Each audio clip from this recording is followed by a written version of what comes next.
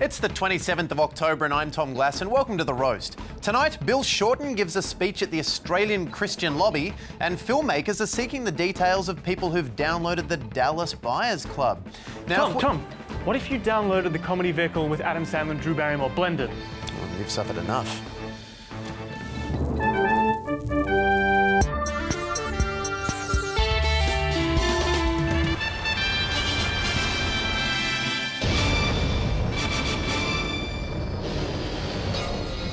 Guess I'll download something else then. Oh, not Dallas Buyers Club. I don't know. What's the new film with Adam Sandler in it that's good?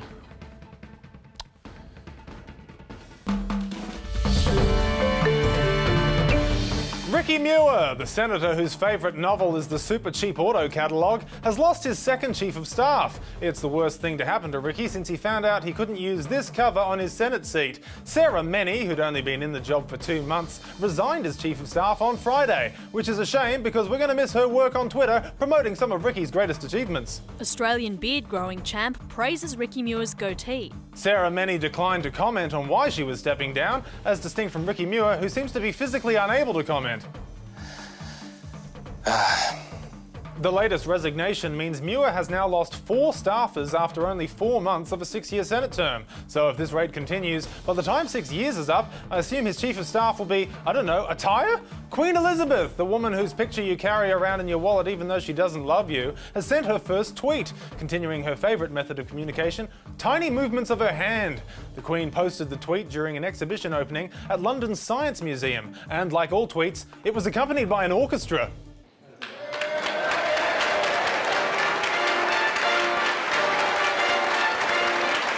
Of course, the internet responded to the tweet in typical fashion. The tweet, which was retweeted 36,000 times and favorited 37,000 times, was responded by a curt f off by a user named Wolfgang Dickface. And I believe we have footage of Mr. Dickface sending his tweet.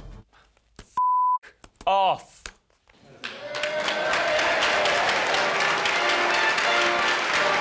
Now, this is all well and good, but I won't be following the Queen on Twitter. I suspect she's one of those people who just tweet dog pictures. Oh my god, puppies! And finally, an executive from Google has set a new record by jumping from near the top of the stratosphere. Meanwhile, an executive from Bing has attempted his latest stunt.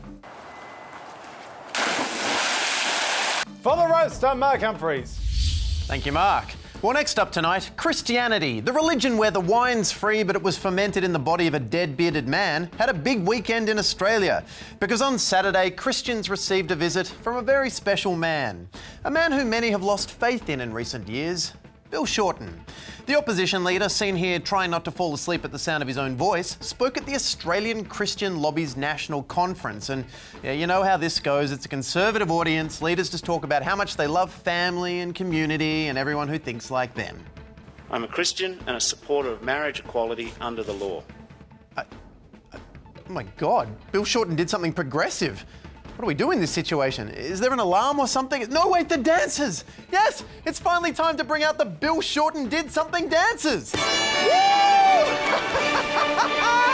Take it away!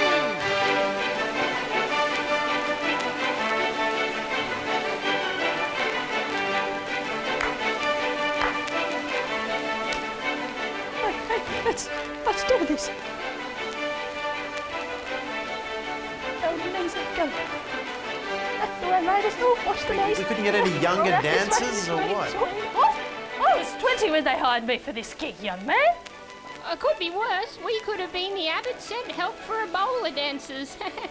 Yeah, well, no story about same sex marriage would be complete without Liberal Senator Cory Bernardi, who knows all about the dangers of same sex marriage because he had a bad dream about it once.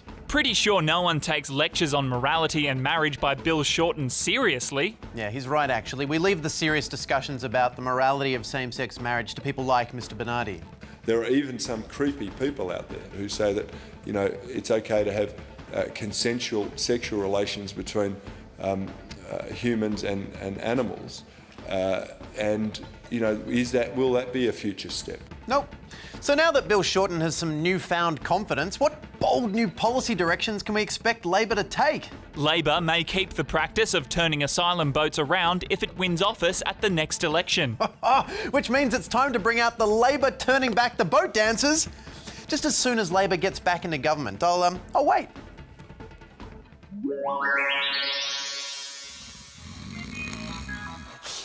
Huh?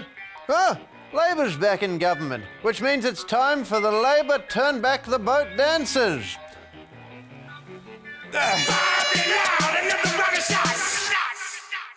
Turn back the boats!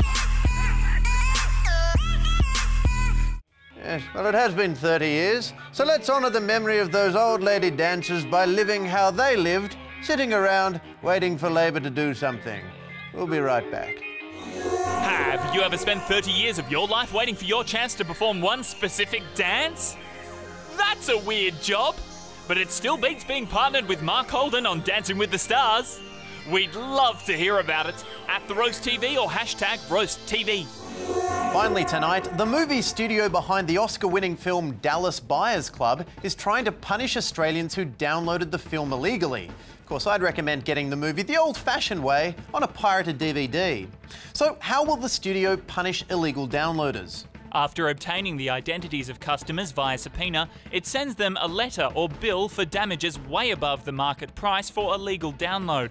Even if only a small percentage agree to pay, at 3,000 or $5,000, it's quite profitable. Yeah, if you thought it was expensive to go to the cinema, it totally is. This is slightly more so. But service providers like iiNet have announced they plan to fight back against the requests for information. So it looks like the Dallas Lawyers Club is going to have to push a little harder against companies like Internode or Dodo. I'm going to ask you again who downloaded the Dallas Buyers Club? Hmm? Dodo Internet that flies. You'll be lucky if you can walk after this. The names! Give me the names! Dodo, a slow extinct bird, narrowly beating out woolly mammoth for the top spot of what to name an internet service.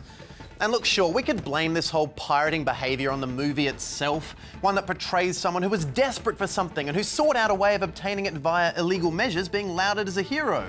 But I think the important thing to remember is you don't have AIDS, try to be patient, you can wait for a movie. Good night.